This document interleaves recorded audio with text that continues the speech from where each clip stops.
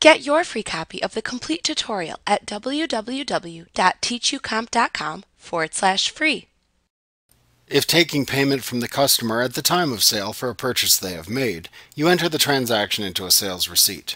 You can create a sales receipt by selecting Customers, then Enter Sales Receipts from the menu bar.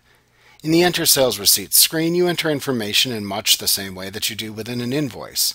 Also, as with invoices, you can select which sales receipt template to use by choosing one from the template drop-down available in the upper right corner of the form. Enter the customer's information into the sales receipt either by selecting a customer from the Customer Job drop-down or by manually entering the customer's information into the Sold To field. If manually entering customer data, be sure to enter the customer's sales tax information by using the Customer Tax Code and the tax drop-down fields at the bottom of the form. Enter the date of the sale by selecting it from the Date Calendar drop-down.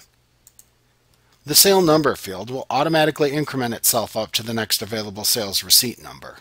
Click the button in the upper left corner of the form that corresponds to the method of payment used. If needed, you can click the drop-down arrow in the lower right corner of this button group to view additional payment methods in a drop-down menu. You can then select the additional payment method from this drop-down. For credit and debit payments, you can select a credit card type from the Payment dropdown and enter the credit card number and expiration date into the Card Number and Expiration Date fields shown in the drop-down menu that appears when you click the Credit or Debit Payment button. Then click the Done button in the drop-down menu to record the credit card information. If they pay by check, you can enter the check number into the check number field at the right side of the sales receipt window. Click into the first available row within the Line Items area and enter the line items for the sales transaction by selecting items from the Item column. Enter the quantity and rate or amount for each item as needed. If this receipt is to be printed later, ensure that the Print Later checkbox on the main tab of the ribbon at the top of the window is checked.